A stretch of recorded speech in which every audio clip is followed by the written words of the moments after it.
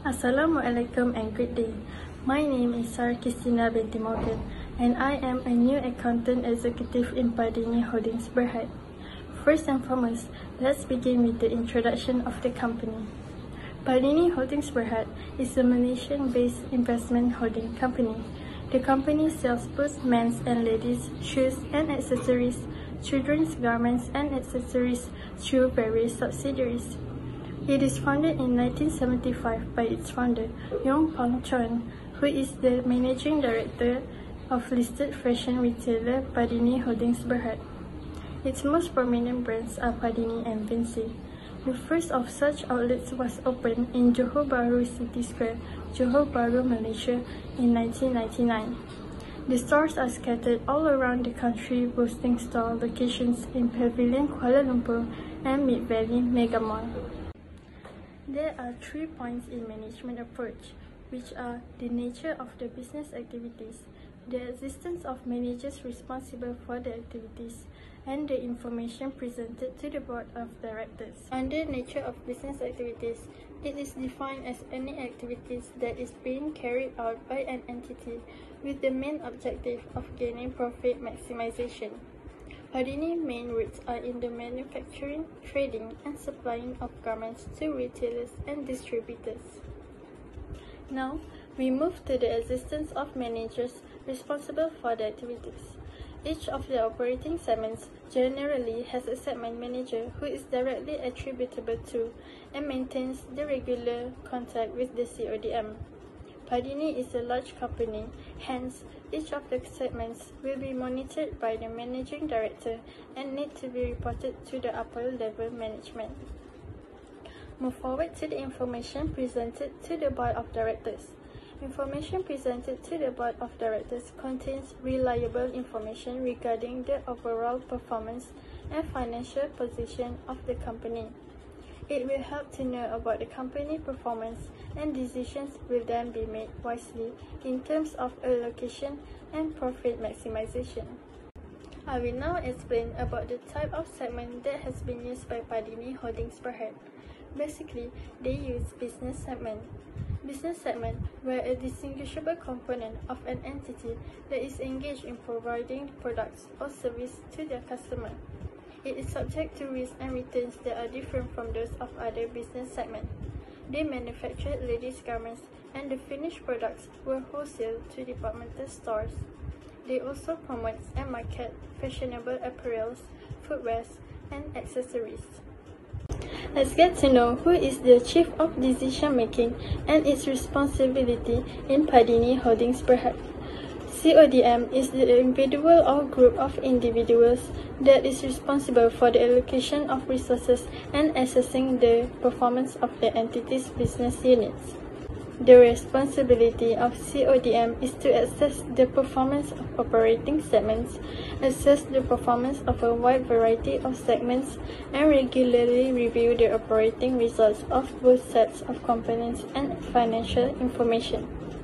Lastly, the CODM of Padini consists of the Managing Director, Mr. Yong Pang Chon, the Executive Directors, Madam Chong Cheng Lin, Mr. Andrew Yong, Mr. Benjamin Yong, Mrs. Chu Fon Chin, and Mrs. Sung Fong Hui. Next, let's move on to the question number C. The question requests our group to reproduce a segmental report. First and foremost, let's see the process to identify reportable segments and non-reportable segments. Reportable segments are the reporting segments or aggregation of reporting segments that meet specified criteria by using quantitative threshold tests and 10% threshold. Uh, Padini Holding Berhad must submit a separate information about aggregated segments that meet a higher than or equal to 10% test based on first, reported revenue, second, absolute amount of reported profit or loss, or third, the asset of all operating segments. First, let's see the revenue basis. It's total reported revenue from sales to external customer and inter-segments compared with revenue of all operating segments. And then let's see profit or loss basis. The amount of reported profit or loss of the segments of either the combined profits of all operating segments or the combined losses of all the operating segments. And lastly, the asset basis. total assets of operating segments compared with the total assets of all, all operating segments of the company. Padini Holding Berhad measured the performance of the reportable segments based on the profit or loss basis. Next, we see the 75% total revenue requirement. At least 75% of the total revenue should, of the entity should be divided by the combined external revenue of the identified reportable operating segment. Padini Holding Berhad have five operating segments, which are investment holding, apparel and footwear, management service, cosmetic and fragrance, and others consist, of operation related to cafe and investment property holding. After doing the 10% threshold test, we can see the result of each segment to identify whether they are reportable segments or non-reportable segments. Apparel footwear and cosmetic and fragrance exceed the 10% threshold test, which are 79.38% and 90.43% based on the profit or loss basis. Therefore, these operating segments are identified as reportable segments. Investment holding is identified as reportable segments even it failed the 10% threshold test because it is only 1.63%. It does not meet the 10% threshold requirement as at 30th June 2020, but a reportable segment in the immediate preceding reporting period, 30th June 2019. Therefore, it should be continued to be treated as reportable segments in the current period of 30th June 2020 because the management consider this information related to this segment as significant. In addition, management service is an operating segment that fall below the 10% threshold requirement must be considered as reportable segments and thus and separately disclosed because Padini Holding Berhad believes that information on these segments are useful to the users of financial statements. Other non-reportable segments comprise operation related to cafe and investment property holding, failed the 10% threshold test with only 9.57%. Other operating segments that do not meet the 10% threshold are not classified as reportable segments, are to be combined and disclosed under all other segments category. Next, for the 75% total revenue requirement, external revenue of reportable segments as shown here is divided by the total external revenue and times with 100. So, 1354295 the external revenue from apparel and footwear plus the 5000 of external revenue by cosmetic and fragrance is divided by 1359 679 the total external revenue and times it with 100.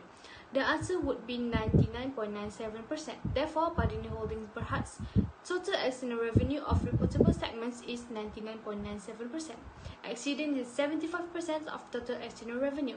As a result, no other segment should be reported. The table shown here is the new segmental report from Padini Holdings Berhad for the year ended 30th June 2020. Since they exceed the 75% total revenue requirement, no other segment should be reported by Padini Holdings Berhad. As a result, reportable segments that that reported by Padini Holdings Berhad are investment holding, apparel and footwear, management service, and cosmetic and fragrance. All other segments consist of cafe and investment holding property.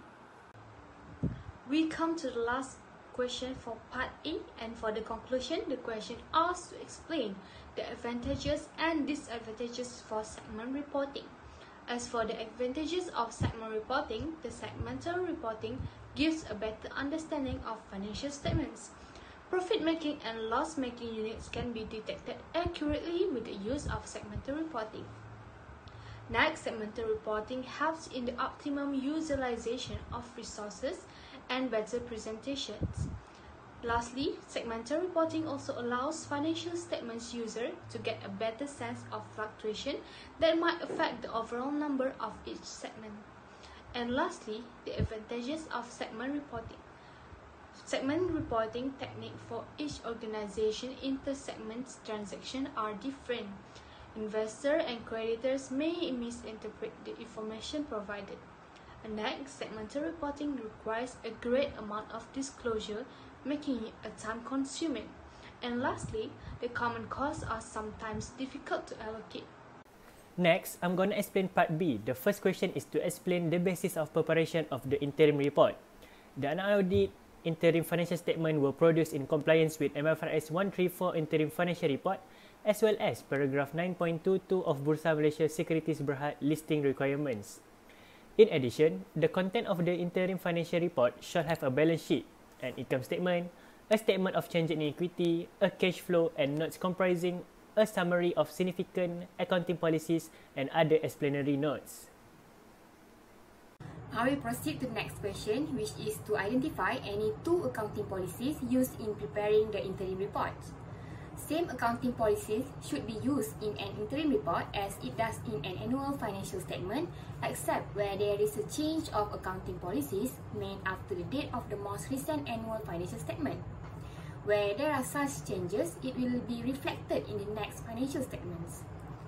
The first accounting policies used in the preparing the interim report is Property, Plant and Equipment, MFRS 116. Property, plant and equipment are tangible items that are held for use in the production of supply or goods or services for rental to others or for administrative purposes and are expected to be used during more than one period. Next, all items of PPE are initially measured at cost. After initial recognition, PPE except for freehold land and capital work in progress are stated at cost less any accumulated depreciation and any accumulated impairment losses. Depreciation is calculated to write off the cost of the assets to their residual values on a straight line basis over their estimated useful lives.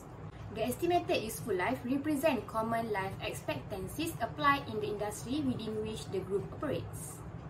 Next, the second accounting policy is investment property MFRS 140. Investment property is land or a building including part of a building or both that is held to earn rentals or for capital appreciation or both, not owner occupied, not used in production or supply of goods and services or for administration and not held for sale in the ordinary course of business. Padini measured its investment property initially at cost, which includes transaction costs. After initial recognition, investment property is measured at the fair value, which reflects market conditions at the end of the reporting period and changes in fair value are included in the profit or loss. Next, I will proceed to the next question, which is to identify the types of interim reports prepared by the company. The first one is Statement of Financial Position. The second one, Statement of Profit or Loss and Other Comprehensive Income. The third one, Statement of Changes in Equity. Next, Statement of Cash Flows. And the last one is Notes to the Financial Statements. For the next questions, identify the period for the current and comparative of each statement prepared by the company. The first one is Statement of Financial Position. The reporting period for the current interim in Statement of Financial Position is only for 3 months, starting from the 1st April of 2020 until the 30th of June 2020. For the comparative end of the year, the reporting period is only for 6 months which is started by 1st January of 2019 until the 30th of June 2019. Next, for the Statement of Profit or Loss and Other Comprehensive Income. The reporting period for current interim is 3 months which is started by 1st April 2020 until the 30th of June 2020.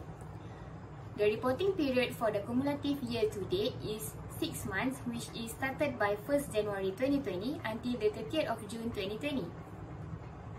The reporting period for the comparative current interim is 3 months which is started by 1st April 2019 until the 30th of June 2019. The last one is reporting period for the comparative year to date is 6 months which is started by the 1st January 2019 until the 30th of June 2019. Next, Statement of Changes in Equity and Statement of Cash Flows. Both of the statement has the same reporting period which is for the cumulative year to date is only for 6 months started from 1st January 2020 until the 30th of June 2020. The reporting period for the comparative year to date is 6 months and starting from 1st January 2019 until the 30th of June 2019. Alright, we are moving for the last question. We will have make two adjustments for the third quarter as at 31st March 2020 by using a statement of financial position. The carrying amount of PPE as at 30 June 2020 is 102 million and 992,000 and compared to 2019 it is 132 million and 29,000. And as for the inventories, the cost as at 1st July 2019 and 1 July 2018 are 267 million and 335,000 and 270 million and 829,000 respectively. Now, let's take a look for the first adjustment which is adjustment for depreciation. On 1 July 2019, Padini Holdings Berhad had PPE costing 363 million and 748,000 with its accumulated depreciation as at 1 July 2019 amounting to 231 million and 719,000. The company depreciates all of its PPE on a straight line basis over the expected useful life of 50 years of the asset. On the 1 October 2019, Padini Holdings Berhad chose to sell one of its building with a carrying amount of 500 million for a profit of 125 million. The building was initially purchased by the company at a cost of 65 million. In addition, on the 1st January 2020, the company acquired a new building at a cost of 50 million. Financial accounting year end for Padini Holdings Berhad is 30th June 2020. Okay, so after doing all the calculation, the carrying amounts as at 1st January 2019 is 181 million 80,000 and 990. For the second adjustment, it is regarding inventories. On the 1st July 2019, the company had inventories at a cost of 267 million and 339,000. The price of inventories change every year. At the 1 October 2019, the net reservable value of inventories is 260 million and 808,000.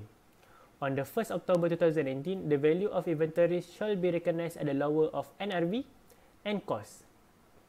The value of inventories shall be written down to its NRV, which is 200, 260 million and 777,000 in the second quarter of the statement of financial position. The loss of inventories amounting to 6 million 5 6,531,000 shall be recognized as an expense in the statement of profit or loss and other comprehensive income. On the 1st January 2020, the net reservable value changed to 273 million and 870,000. Therefore, the value of the inventories shall be recognized by using the cost of amounting to 267 million and 339,000. So, Padini Holdings Berhad should be reversed the 6,531,000 inventory loss that was previously recognized in the statement of profit and loss. Lastly, we shall look at the after adjustment. Here is the third quarter of statement financial position.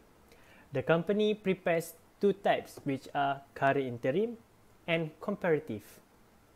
The carrying amount of property plant equipment as at 31st March 2020 is now 181 million 80,990 and compared to 30th June 2019 it is 132 million and 29,000. For the inventories, the value is 20 267 million and 339,000 and compared to 30th June 2019 it is 270 million and 831,000. Alright, that's all from us. Thank you for watching.